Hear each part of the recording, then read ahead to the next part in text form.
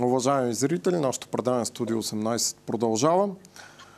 Сега е време да си поговорим за нещо, което сигурен съм изключително много вълнува хората. Става въпрос, разбира се, за това какво се случва с намирането на работа, т.е. какви са нивата на безработицата и началото на тази година, която спокойно можем да кажем, че продължава лошото а, економическо състояние, причинено от корона кризата в глобален план. Как се отразява на пазара на труда?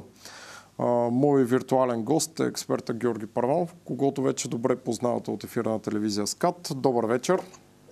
Добър вечер и благодаря още веднъж за поканата. Господин Парванов, да започнем от там. Какво е положението в февруари месец сме?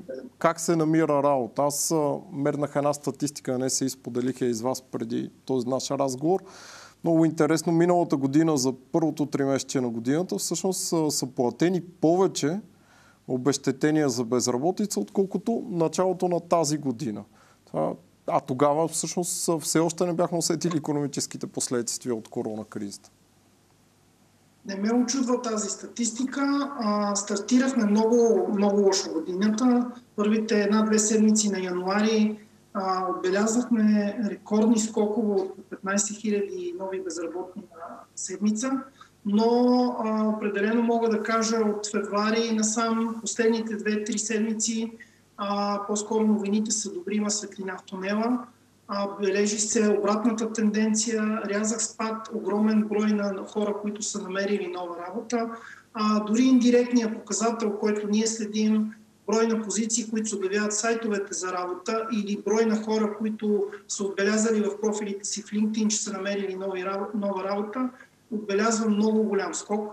Забележете, че това е преди, дай Боже, на 1 марта да се отворят и а, всички ресторанти и барове. А, тоест, това е ефект по-скоро, който касае индустрията, а, IT, услуги, кол-центрове, шер сервис центрове, онлайн бизнес, всички останали бизнеси, а, различни от а, тези, които бяха най-тежко ударени. Моето очакване е, че от март нататък, дано да няма и ново затваряне април, за каквито слухове има, а, ще отбележим още по-траен ръст на заедостта и съответно спад на, на безработицата.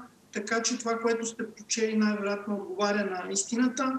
Официално статистиката отчита малко под 7% безработица. Смятам, че има и доста други економисти, специалисти, утвърждават и скрита такава хора, които не са регистрирани а, които очакват а, да се възстановят техните ресторанти, компании и така нататък. Вероятно, реалната е а, някъде около 10%, но определено последните няколко седмици виждаме раздвижване, виждаме някои, макар и не големи, нови инвеститори да влизат на пазара, нови заводи, а, някой друг не голям, но интересен нов кол център, shared сервис център, дано бързо да се възстанови туристическия сектор.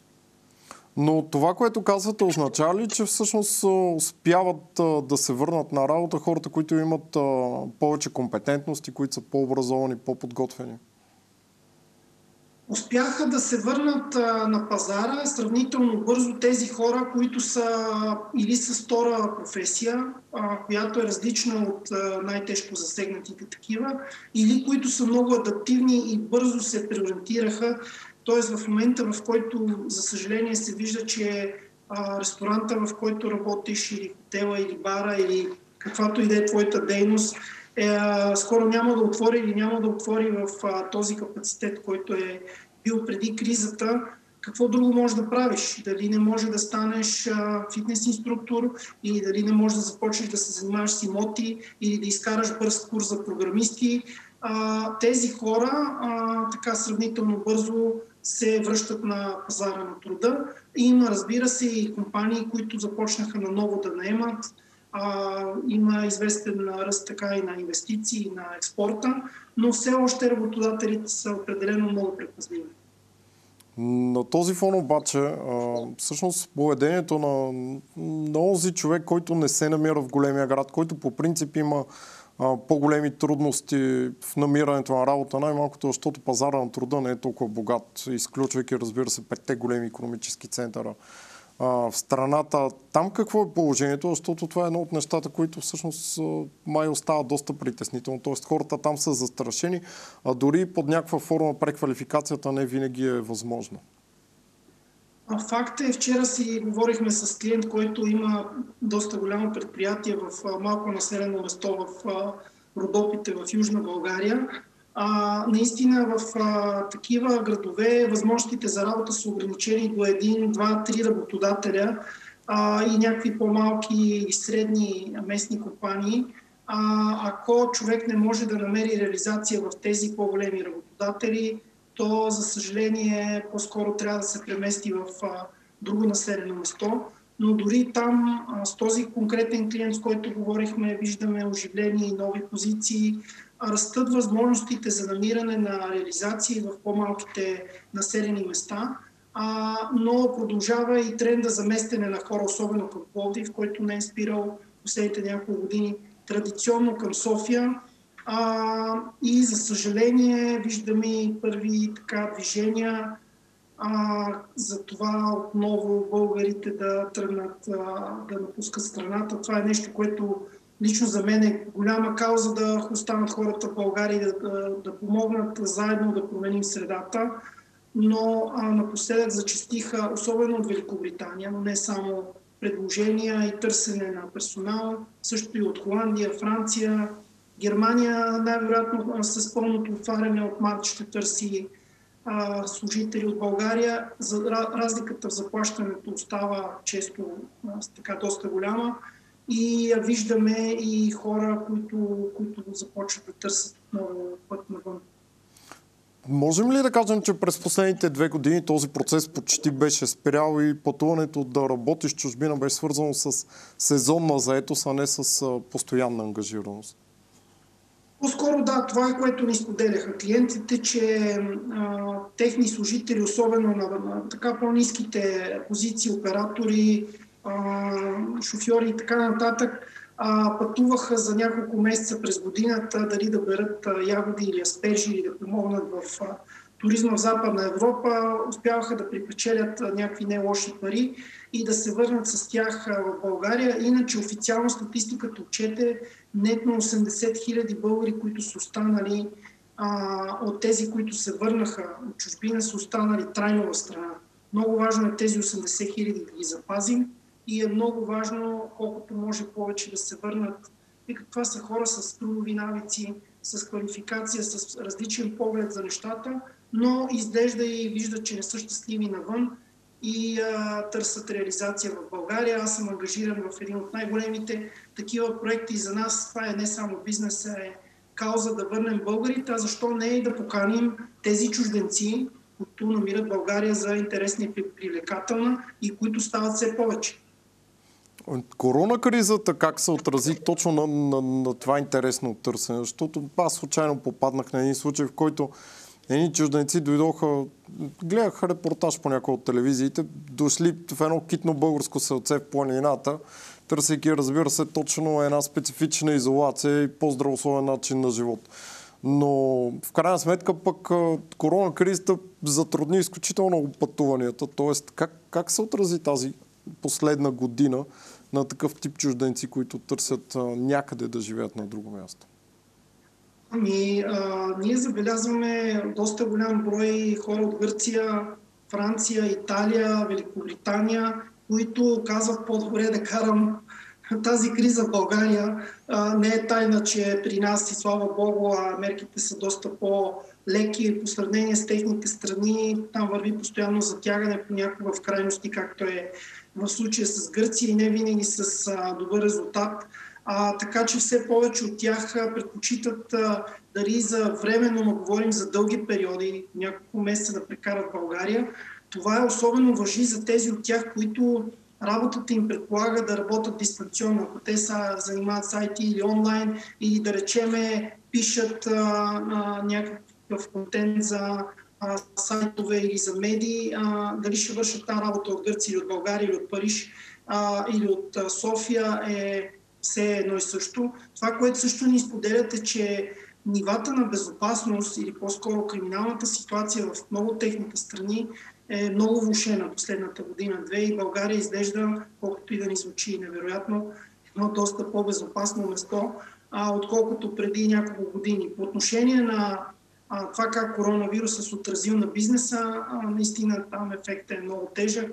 Огромни а, непланирани разходи за повечето от компаниите и моята и и всички останали за това да се вземат необходимите мерки за закупуване на санитарни материали, за разписване на специални маршрути, по които хората да идват или гостите, а, дистанционната работа и невъзможността за периоди от време да се посещава офиса. Всичко това доведе до така големи преки и косвени загуби, но нека сме оптимисти да погледнем а, и положителната страна. А, почнахме да ценим а, какво да се работи в офис, а, да цениме нашия си бизнес и съответния работодател още повече. Не е тайна, че за този период от време а, търсещите работа ставаха доста по-лоялни и сравнително по-трудно взимат решения да а, напуснат сегашната си работа, виждайки нерядко една така доза на стабилност, която може би липсва а, извън нея. Тази нестабилност, казахте в началото на нашия разговор, кара по-голямата част от бизнеса да е изключително предпазлив от гледна точка на инвестиции, дори да може да си позволи да изчаква подходящия момент. Връщайки се обаче отново на статистиката, специално с 2020 година, официално отчетената от НСИ, показва, че всъщност септември месец брутният вътрешен продукт на страната нарасна спрямо миналата година. Тоест ние успяхме да наваксаме цялото изоставане и дори да отбележим лек ръст. Нали? В последствие това беше сгубено заради последващото затваряне. Но ето сега отново разпускаме мерките. Очаква се, както и вие казахте, началото на март ресторантьорския бизнес да отвори. Това как се отразява от гледна точка на несигурността на работодателите? Тоест ние виждаме, че като отпуснем нещата, бързо успяваме да наваксаме пропуснатото но самата неяснота дали въобще може да се стигне до такова разпускане, как се отразява. А, Венцислав, точно така е. Реално, ако не беше второто затваряне, ние вероятно щяхме да отбележим а, а, или нулев а, ръст, или дори малък а, положителен ръст и по резултата на, на компанията, която управлявам и на нашите клиенти. И като гледам статистиката, а, ние към септември-октомври показахме едни много, много добри резултати. А, също много голям ръст имаше на, на заедостта. А, това второ затваряне наистина се отрази доста негативно и последните данни, които а, излязоха са за около 3-8% спад за последното 3 месече на брутния вътрешен продукт, което е два пъти по-малък от а, средния за Западна Европа но е доста голям и в номинална стойност и знаеки какъв е размера на българската економика. Ако не беше това второ затваряне, 2020 нямаше да бъде толкова неприятна година, но по-скоро да сме оптимисти. Аз съм любител на самолетите. В момента, както като излита един самолет, знаете, че минава през едни по-низки облаци, докато стигне оптималната височина. Мисля, че сме на края на тия облаците и вече така се вижда слънцето и чистото небе. А, много важно е економиката да продължи да тръгне нагоре, бързо да се възстанови. А отново е става въпрос на предно интервю. Поне месец трябва след пълното отваряне на българската и не само економика да се върне в що годе така, нормални релси и да започне да функционира. И да се надяваме от април до края на годината, че бързо ще наваксаме този спад, който имаше и ще отбележим ръст. Много важно е какви мерки ще се предприемат по отношение на руските и не само туристи, а, и нашите, и дали ще имаме добър летен сезон, тъй като миналия летен сезон се ограничи реално само до август месец. На този фон, това, което казвате за оптимизъм, аз също съм оптимист и винаги съм търсил така оптимистичната гледна точка, но не може да не ни притеснява това, което се случва, например, с Израел. Те, въпреки масовата вакцинация, там вчера отново обявиха, че затварят границите на страната. Тоест, чуждия опит не изглежда много оптимистичен. А, това е една тема, за която ще ни трябва още едно едночасово интервю и мен наистина ми се влиза в а, темата за ползите и вредите от локдауна а, ние видяхме и го виждаме и в Гърция, която е затворена с един от най-рестриктивните да, да, наистина затворена. месец. И нови мерки се взимат от тази седмица за още по-силно затваряне. Резултатите не са добри. Продължава ръста на заболелите отбелязват рекордни бройки на отишвани хора и да не влизам в детайли, аз не съм медик, но аз съм специалист по човешки ресурси. Това, което виждаме, че страните, които са с по-разхлабен режим като България, като че и доста страни, които са а, и в Африка, и в Азия, се дават за светъл пример, минават а, а, доста по-добре през а, сегашната криза. А куриозно страните с най-тежки локдауни а, не се развиват никак добре. На едно друго интервю за друга медия, което дава, повдигнах и също един любопитен въпрос. А, какво се случва в Харватска след земетресенията? Значи след голямото земетресение там а, опаднаха всякакви мерки за социална дистанция. Те не взимат никакви мерки, спът по 100-200 човека в училище и така нататък. Погледнете цифрите за Харватска. А, тогава бяхме опоненти в това интервю с а, медицински специалист, който има по-различни от моите възгледи и той каза, дайте да изчакаме да мине малко повече време, за да излезе реалния резултат. Ми мина време, вижте цифрите за Харватска, няма рязък ръст на, на заболеваността и властите трудно могат да обяснат какво се случва. А още веднъж не съм медик от гледна точка на пазара на труда. Е много важно от 1 марта да се отвори а, всичко и да заработи економиката, да няма второ затваряне, а, да имаме максимално бързо, стабилно правителство след изборите и за периода април-декември, ако имаме малко късмет, можем да отбележим а, наистина сериозен ръст от порядъка на 4-5% на брутния вътрешен продукт и на економиката, да се върнем към нива на безработица от преди кризата и а, страната да, да върви нагоре. А, потвърждавам и друга тенденция, за която се пише и говори. Наистина има отлив на инвестиции, затварят се частично и изцяло кол-центрове в Азия, предприятия и те се местят към Европа и ние имаме много голям шанс да привлечем част от тях за България. И на този фон, нали, за края на нашия разговор, да се върнем отново към пазара на труда тук в България. А, компании като вашата станаха ли по-търсени от работниците, защото ние знаем, че Особено когато става въпрос за сферата на услугите в България, нямаме тази култура да, да се доверяваме, да търсим професионалистите, като започнем от ремонтите и приключим, разбира се, с търсенето на работа и на жилище, ако щете, на покупка, каквато иде, се гледаме някак си, се мислим, че ние сме си най-добрите. Тоест, хората а, осъзнаха ли, че всъщност много по-разумния, много по-лесния вариант е да търсят услугите на компании като вашата, които специалисти в своята област, за да си намерят по-лесно работа. Абсолютно това е факт. По същия начин, по който а, никой човек, който така, има разум и цени своето време, няма да тръгне без а, посредничество на агенция за недвижими имоти да търси имот или без а, помощта на някакви специализирани а, други хора, електричари или от имате нужда а, да, да, да, да се опитвате сами да се справяте. По същия начин, ако преди 5 години много голям процент от хората, с които се срещахме, търсещи работа, а, не знаеха агенции или не ползваха и, а, и се опитваха си намерят работа с обичайните канали, сайтове за, за търсене, лични контакти, то сега процента на, на търсещите, който е регистриран в агенция като нашата, е много по-голям. А важно е да отбележим за вашите зрители, че сега ще има един период на оптимизъм, леко успокояване на пазара на труда и е много важно а, да не се успокояваме в тази ситуация. Напротив, това е момента, в който хората трябва да седнат и да си направят един собствен мини одит на човешките ресурси, на собствените възможности, потенциал, интереси, хобита, слабости и да преценят от тук нататък в този нов свят, който няма да е стария свят, къде стоят и как могат да бъдат конкурентни, какви професии могат да, да заемат, да научат или да развият, които няма да бъдат заменени от автоматизация, от роботи и ще бъдат конкурентни и много години напред. Така че сега не е момента за успокояване и ще работя това нещо, което работя а, следващите 10 години няма какво да ме притеснява. А сега е момента да си прецените силите и възможностите и да си отговорите на въпроса от тук нататък на къде.